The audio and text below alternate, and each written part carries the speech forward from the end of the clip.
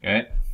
4119 på runt 1800-talet var ronder ett populärt mönster på tapeter som kanske ni ser i er bok. I en rond är alla sidor lika långa. Med vilken formel kan man beräkna arean av en rond?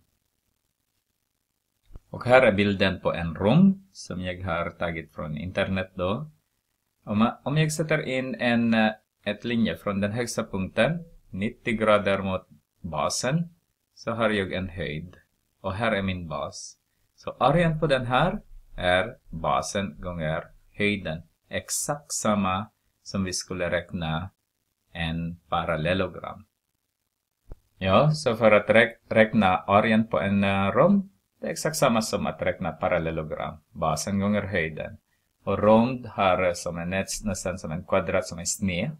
Det är bara den. Alla sidor är lika långa. Och rita en rond och markera vilka mått man behöver för att beräkna arean. Ja, det har jag gjort redan här. Jag har ritat. Man behöver basen och man behöver höjden.